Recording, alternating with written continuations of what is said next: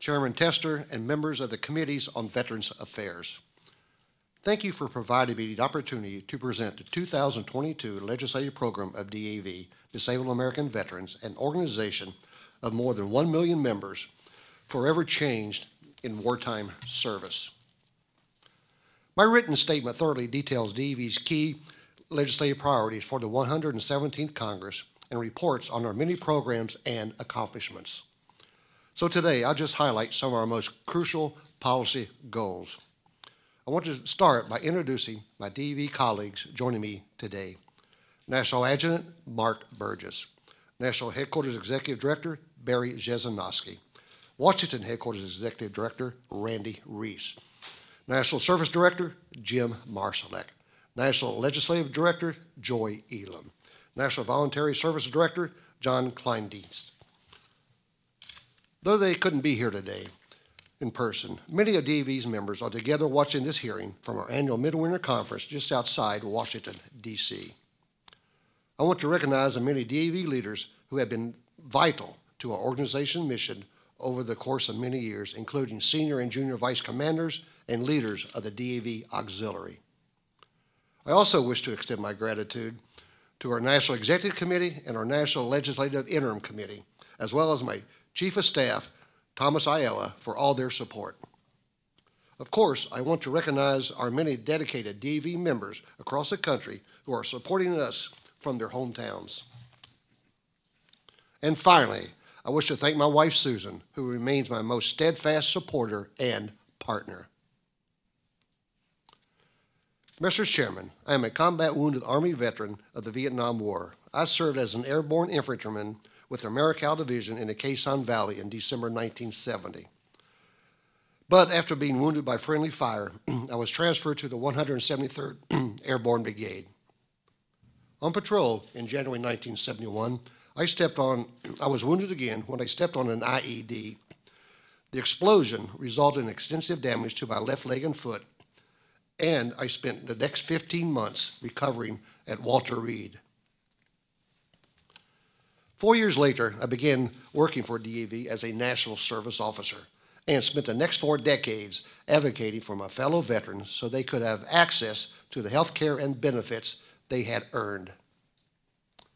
Early in my career, I met a Vietnam veteran named Tom who desperately needed help. Like so many, he struggled with PTSD and the lingering physical and psychological tolls of combat. His disabilities and demons became so severe he could no longer work. And after VA denied his claim, Tom began contemplating taking his own life. I knew he was particularly vulnerable to self harm and accompanied him to a meeting with his Vet Center counselor. DAV took on his claim, appealed, and ultimately won, providing him with additional financial support. With each small step, I could see the weight lift from Tom's shoulders. And after VA acknowledged his trauma and granted him the benefits and care he needed, Tom never considered taking his own life again. Tom was saved by the right combination of life saving factors, but there are far too many situations that have ended in tragedy. Mr. Chairman, veterans' need for mental health services have grown substantially following two decades of wartime service. Today, VA's crisis line receives hundreds of thousands of calls, text, and chat messages annually. In addition, VA's vet centers have seen a 35% uptick in the past five years. As these needs continue to grow, it's critical that Congress provide VA with all the mental health resources, staffing, and support necessary to prevent suicide. Mr. Chairman, the VA Mission Act was designed to increase VA's capacity to deliver care both inside the VA and in the community. We know that, mo that most enrolled veterans prefer to receive their care from, directly from the VA, and clinical studies continue to show that the quality of care provided by VA is as good as or better than that provided by the private sector. That's why it's critical that VA remain the primary provider and coordinator of healthcare for enrolled veterans, even while continuing to improve the new community care network created by the VA Mission Act. And as we have seen over the past two years of the pandemic, VA has been one of the most successful and reliable healthcare systems in the nation, providing timely access to care for more than 9 million enrolled veterans. VA also provided help to other healthcare systems and non-veterans under its fourth mission to provide support to the nation during national emergencies, disasters, and wars. At the same time, VA is a national leader in medical care and training clinical professionals. That's why it is so important to maintain a robust VA healthcare system that is able to deliver a full spectrum of care. Mr. Chairman, a key section of the VA Mission Act was the creation of an asset and infrastructure review to develop and implement a plan to modernize and realign VA's healthcare infrastructure for the future. In just a couple of weeks, VA will put forward its facility recommendations. In order for the process to be successful, VA must provide complete transparency of the data and assumptions used to make their facility recommendations, particularly the market assessments. With more and more veterans turning to VA, Congress must ensure it has the right health care infrastructure in the right locations to meet the rising demand for care. Mr. Chairman, as the VA works to increase its capacity to meet the physical and mental health care needs for those who served, it must continue to create an environment that is free from harassment. We must truly welcome all veterans. The VA has made notable strides to reduce harassment, including the introduction of bystander intervention for training staff and veterans. Congress must continue to oversee the implementation of VA's zero tolerance policy for harassment at all VA facilities. We also look to Congress to ensure that veterans who have experienced military sexual trauma are able to receive the benefits and services they deserve. For these veterans, fighting to prove their case to the VA, sometimes for years, takes a damaging emotional toll. We call on Congress to pass legislation that would codify evidentiary standards within the MST claims process, enhance communication with affected veterans, improve VBA's training and procedures, and expand mental health services for MST providers.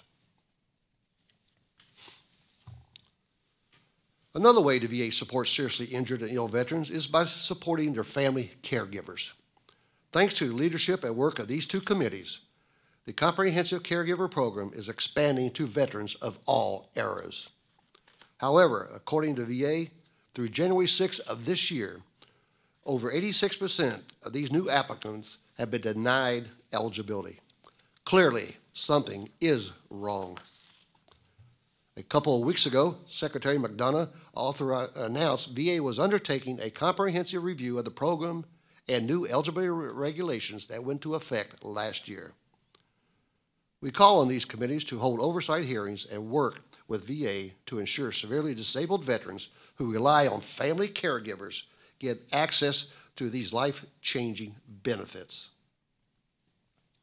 Finally, Mr. Chairman, I want to take a few minutes to talk about the importance of Congress taking action to address the toxic legacy of burn pits and other exposures. As a Vietnam veteran and a DAV benefits advocate for 41 years, I know the long-term negative health effects of Agent Orange. I lived through the long struggle before Congress and VA took action to recognize the damage from these toxic exposures. That struggle continues for some Vietnam veterans even today. It's long past due for VA to recognize that hypertension is associated with Agent Orange exposure. And if VA won't act, then Congress must do so through legislation. Unfortunately, the same inaction has plagued generations of veterans suffering from conditions linked to other toxic exposures like radiation, contaminated water, and burn pits. After years of work by DAV and other veterans organizations, Together with good faith efforts by leaders of these committees on both sides of the aisles, Congress must finally, may finally be nearing decisive action, but only if you work together. Later this week, the House will be voting on the PACT Act, the most comprehensive legislation on burn pits and toxic exposures ever introduced.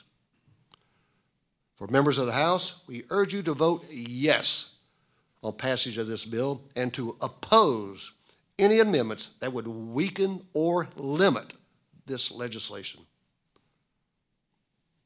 The Senate has taken critical steps toward the same goal through, though with a different tactical approach. Last month, the Senate passed legislation to expand health care coverage for combat veterans, and this committee is working on at least two additional bills to create a legal framework and establish new presumptions related to burn pits. We urge all senators to continue working in good faith to pass the most comprehensive package of burn pit and toxic exposure bills possible in the Senate. Ultimately, it will take true bipartisanship for the House and Senate to reach a compromise on significant legislation to be approved before the end of the year. I want you all to know that DAV and our members across the country are ready to help and that we will be watching. There's precious little time to lose. Veterans' lives and well being are truly on the line, and they deserve better. Mr. Chairman, the 1921 novel All Quiet on the Western Front captured the intense mental stress felt by soldiers during World War I, as well as the difficulty they experienced transitioning back to normal life after returning home from the front lines. Erich Maria Remarque wrote that his book would tell of a generation of men who, even though they may have escaped shells, were destroyed by the war.